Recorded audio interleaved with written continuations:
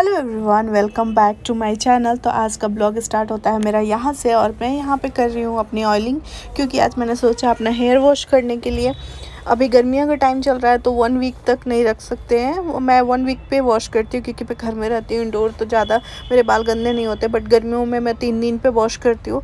लेकिन जब भी करती हूँ तो मैं ऑयलिंग ज़रूर कर लेती हूँ वॉश करने से पहले क्योंकि एक तो कलर्ड बाल हैं तो वैसे ही ड्राई रहते हैं और ऑयलिंग कर लेने से अच्छा होता है। तो वैसे मैं रात को करती हूँ बट रात को भूल गई थी तो मैंने सोचा कि दिन में ही कर लेती हूँ। तो यहाँ पे मेरे पास जो भी कोई सिरम की सीसी खाली रहती है ना जो ब्लैक कलर की होती है सिरम वाली। सो so, जब सीरम फिनिश हो जाता है तो मैं उसको अच्छे से वॉश करके उसमें ना जो मैं ऑयल यूज़ करती हूँ जो भी ऑयल कोकोनट ऑयल होता है कोई आयुर्वेदिक ऑयल होता है या फिर कुछ होममेड ऑयल रहता है वो अगर रहता है तो मैं इसी में डाल देती हूँ और इसकी वजह से ना मेरे को बहुत ईजीली लग जाता है। और इससे लगाने में ना हाथ बहुत ज़्यादा मेसी नहीं होता है। आप स्ट्रॉ से ही उसको आप पूरे क्या बोलते हैं जड़ों में लगा सकते हैं और उसके बाद उसको मसाज कर सकते हैं। सो so, यहाँ पे मैं मसाज कर रही हूँ अपनी फिंगर की हेल्प से। तो ज़्यादा जड़ों को ही तेल की ज़रूरत होती है। ऊपर ऊपर हेयर को ज़्यादा ज़रूरत नहीं होती है। तो हम लोग क्या करते हैं ना इसकी वजह से हम लोग बहुत ज़्यादा ऑयल वेस्ट करते हैं। तो वो नहीं करके आप ऐसे स्ट्रॉ से करेंगे तो अच्छा रहता है। जो सीरम का वो ऊपर वाला होता है ना उसमें ऑयल लेके और उसके बाद जड़ों में लगाइए तो उससे अच्छा होता है। उसके बाद मैंने यहाँ पे चोटी बना लेनी है। रात को बना के सोएँगे तो ज़्यादा अच्छा रहेगा। अगर दिन में भी दो तीन घंटे आप छोड़ देते हैं तो प्रॉपर काम करता है। तो इसके बाद हम चोटी बना लेंगे। या फिर आप कुछ भी चोटी बना के ऊपर जूड़ा मत बनाइएगा उससे बाल टूटते हैं। चोटी बना लेंगे तो उससे क्या होता है ना ऑयल अच्छे से अब्जॉर्ब होता है आपके बालों में। ऐसे खुला छोड़ देने पर ना ऑयल उड़ जाता है। बट जो चीज़ के लिए हम बेनिफिट्स के लिए ऑयल लगाते हैं, वो हमको प्रॉपर बालों में नहीं मिल पाती है। तो इसलिए मैं यहाँ पर चोटी बना ली। सो दैट्स इट ये है हमारी ऑयलिंग दो तीन घंटे के लिए छोड़ दूँगी, अपने घर के कामों करूँगी। तब तक ये हमारा सेट हो जाएगा। फिर जब सावर लेने जाऊँगी तो ये वॉश कर लूँगी। सो so, यहाँ पे मैंने सोचा बहुत दिन से सोच थी अपनी बालकनी का मेकओवर और क्लीनिंग करने का तो मैंने थोड़ा बहुत अपने प्रोसेस स्टार्ट कर दिए थे बट ये जो धूल वाला काम होता है क्योंकि बहुत ज़्यादा डस्ट हो गया था घर चले गए थे बहुत दिन से बालकनी का सिर्फ़ स्विंग का यूज़ हो रहा था नीचे का यूज़ नहीं होता क्योंकि गर्मियों में बैठने का मन करता है बालकनी में इतना अच्छा वेदर होता है शाम को तो। और स्विंग की वजह से सिर्फ़ एक जने बैठ सकता है और नीचे का गंदा हो गया था तो उसमें मैंने कुछ स्टोरेज का कुछ कुछ रख दिया था जैसे मैंने स्टोर स्ट्रॉलर वगैरह जो एक्स्ट्रा होते हैं उनको रख दिया था। इसकी वजह से ना वो वहाँ सफ़ाई नहीं हो पा रही थी। तो मैंने सोचा आज इसका मेकओवर करते क्लीनिंग करते डीप क्लीनिंग और इनकी सफ़ाई करती हूँ। तो पहले मैं इन जितने भी स्टोरेज का काम की थी मतलब जो भी रखा था मैंने बालकनी में उसको मैंने हटा दिया। और इससे क्या होता है जब बालकनी ये साफ़ हो जाएगी क्लीन हो जाएगी ना तो मेरे लिए भी अच्छा रहेगा। इसे का बड़ा निकला है। मैं सोच रही हूँ ये स्ट्रॉलर अब कोई यूज़ का नहीं है। आ, किसी को दे दूँगी तो किसी का यूज़ हो जाएगा। रखे रखे मेरा ख़राब होगा। और ये सारे मैट्स वगैरह इधर ही रखी थी। अभी मैं इसको साफ़ करते हुए इसको पानी से धोऊँगी। थोड़ा सा बैठने लायक हो जाएगा ये मेरा बालकनी। थोड़ा सा सामान वामान रख दिया था। अभी ये सारी चीज़ें फोल्ड करके ये सफ़ाई कर लूँ मैं। सो so, बहुत दिन से इस बालकनी का ना बहुत ज़्यादा यूज़ नहीं होता। ऐसी चीज़ें मैं रखी थी जिनको रखने का कोई वजूद नहीं है। मतलब ये सब चिकू के जो मैट्स बहुत सारे मैट्स हैं मेरे पास। तो मैंने सोचा इनको इधर उधर रखने से अच्छा है कि एक बालकनी में सेटअप करते हैं इन्हीं सारी चीज़ों से। और अपने लिए एक मतलब बैठने का जगह बनाते हैं। अभी छुट्टियाँ चल रही हैं तो बालकनी की अच्छी खासी यूज़ होती है। चिकू भी बैठेगा। थोड़ा सा हम लोग ड्राॅइंग करेंगे कुछ टॉयज़ लेके यहाँ पर प्ले करेंगे। तो एक अपना मतलब हम लोग का एक एरिया हो जाएगा खेलने वलने के लिए फिर या शाम को चाय वाय पीने के लिए। तो मैं पहले से बालकनी का सेटअप आप लोग को बहुत बार दिखा चुकी हूँ, लेकिन घर और जाने से इधर उधर कुछ हुआ। बट मतलब यहाँ पे ना उसको स्टोरेज बना दिया जब से स्विंग आया था, क्योंकि हमको समझ नहीं आ रहा था इसको यूटिलाइज़ कैसे करना है, क्योंकि स्विंग पे एक ही जने बैठ सकते हैं।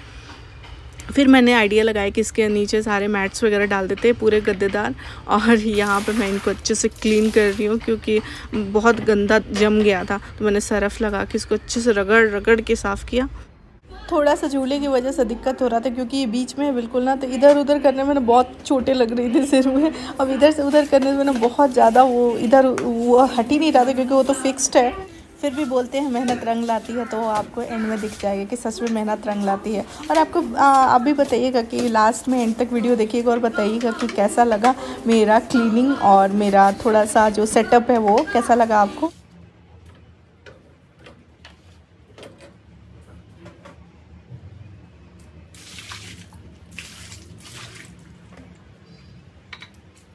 सो तो मेरे पास बहुत सारी दरियाँ डोरमेट्स वगैरह मैं बहुत सारे ख़रीदती रहती हूँ ना तो मेरे पास चटाई उटाई ये सब चीज़ें थी। तो मैंने सोचा इसके नीचे सारे डाल देती हूँ। एक तो अच्छे भी रहेंगे, गद्देदार भी हो जाएँगे और सफ़ाई भी हो जाएगी। तो ये सारी मैंने चटाइयाँ, दरियाँ सब डाल दी, लेकिन वही है कि थोड़ा सा एक बार बारिश आ गया। वैसे तो मैंने, आप देख रहे होंगे ऊपर मैंने पॉलीथीन डाला है बट फिर भी ज़्यादा बारिश आती है तो पानी गिरने लगता है नीचे। तो उस समय थोड़ा सा मुझे मशक्क़त करनी पड़ेगी, हटाना पड़ेगा थोड़ा सा इधर, वरना पानी से गीला हो जाएगा। वैसे तो मैट्स वगैरह प्लास्टिक के ही हैं बट जो ऊपर मैंने दरी डाला है वो कपड़े का है। सो यहाँ पर मैंने पूरा अच्छे से सेट कर लिया। मुझे लगता है घर का एक कोना ऐसा होना चाहिए जहाँ आप सुकून से बैठ के एक शाम की चाय या सुबह की चाय या फिर अपनी फैमिली के साथ गप्पे सप्पे मार सको और बाहर का व्यू बहुत अच्छा दिखे वेदर बहुत अच्छा दिखे तो आपके घर में एक ऐसा जगह होना चाहिए, एक कोना जहाँ पर आप इसको बोल सको कि this is my this is my सुकून प्लेस तो वो हम अपना सुकून प्लेस बना रहे हैं इसको। मैं बहुत बार इसको करती हूँ, बहुत टाइप से करती हूँ, इसको डिफरेंट डिफरेंट तरीके से सजाती हूँ, क्योंकि यहीं से छोटा सा जगह है जहाँ पर मैं ये सारी चीज़ें कर सकती हूँ डेकोरेट कर सकती हूँ। ये हो गया होल सेटअप मेरे बालकनी का। इसके नीचे मेरे जितने पुराने कारपेट्स है मैट्स थे, वो डाल दिए कि थोड़े गद्देदार हो जाए। और इसके पास थोड़ा सा कुशन डाल देंगे। थोड़ा सा स्विंग की वजह से इसका स्पेस यूटिलिटी कम हो गया था बट ऐसे कर देंगे तो नीचे आराम से बैठा रहेंगे तो चोट वोट नहीं लगेगा। तो एक ही जन इस पर बैठ सकता है, ऐसे जैसे तीनों को मन किया तो प्रॉब्लम होती थी। ये लाइट वेट भी लगी है जो रात को दिखेगा। और ये बैंगलोर का वेदर हम लगा देंगे। पिल्लोस क्या है ना कि यहाँ पर चूहे भी आते हैं तो मैं कुछ अच्छा वाला पिल्लोस नहीं लगा सकती हूँ, क्योंकि काट उठ दिए। फिर दिक्कत हो जाएगा। नाली की तरफ़ से आते हैं ऊपर से। और यहाँ दो पुराने पिलोस लगा दे रहे काटे भी तो कोई दिक्कत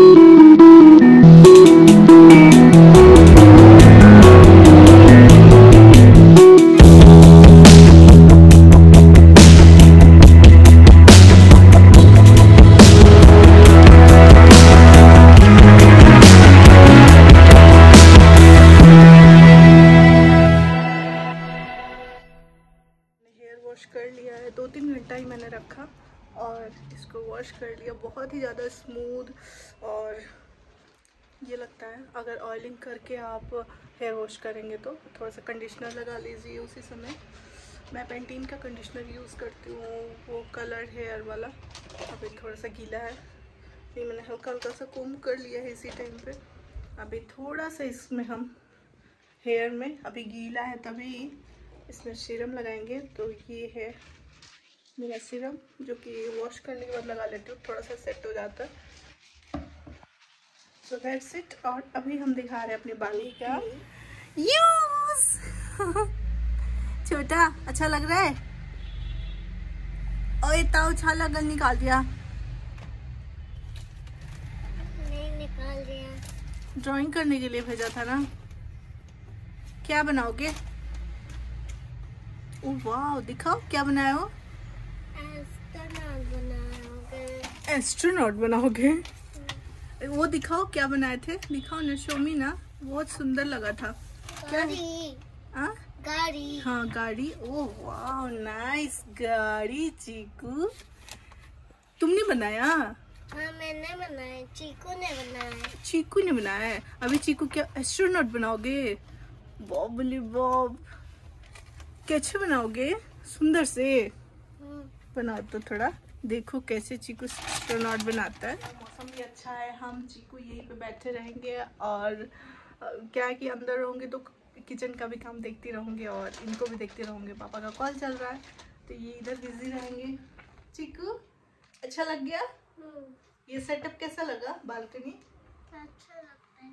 अच्छा लगता है। ये मेरा बैकग्राउंड रैम्बो सो so, अभी आप लोग से रेम्बो राइटिंग करोगे?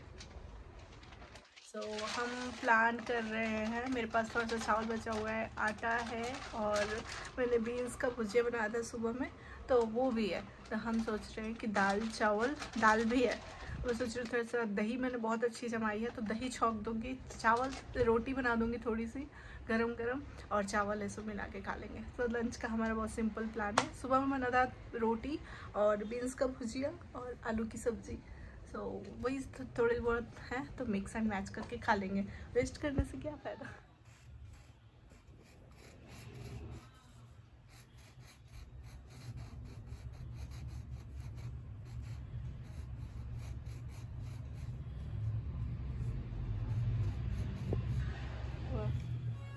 Show me. Wow, so pretty. Look at me. एक बार और दिखाना. Oh, so nice. Very good बच्चा. अपने से बना दिया. आ जाओ तुम्हारा खाना रेडी है. Come, look at the yummy yummy food. अच्छा होता है गुड फॉर हेल्थ होता है रायता होता है राइस होता है आ जाओ मैं खिला दो आ जाओ यही खाओगे? सो so, यहाँ पे मैं चीकू को खाना खिला रही हूँ खुद भी टेस्ट कर रही हूँ क्योंकि देखना पड़ता है तीखा है कि क्या है तो मैं भी अपने लिए उसी में ले ली हूँ कि मैं भी खा लूँगी और चीकू भी खा लेगा। पापा का खाना उनके रूम में दे देती हूँ क्योंकि कॉल्स रहते हैं दोपहर में बहुत ज़्यादा। पानी। तीखा लग रहा है। कुछ भी तो तीखा नहीं है मिर्ची। कर चाहिए। अच्छा है?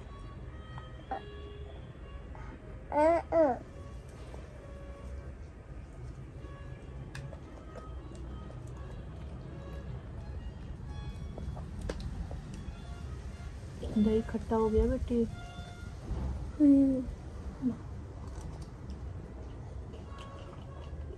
गुड ऐसा नहीं होता।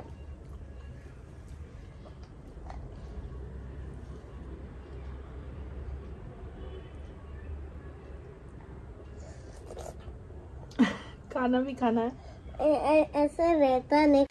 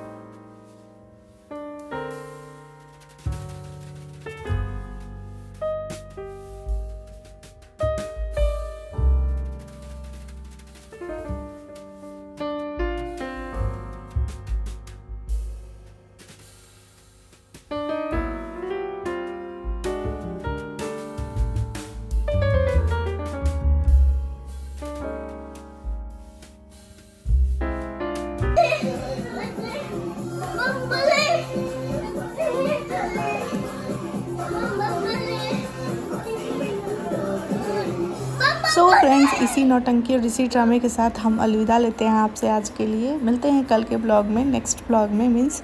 और तब तक के लिए बाय टेक केयर खुश रहिए और सबको खुश रखिए प्यार बांटते रहिए। और शेयर कीजिए कमेंट कीजिए जितना हो सके और सब्सक्राइब भी कर लीजिएगा अगर अच्छा लगे तो।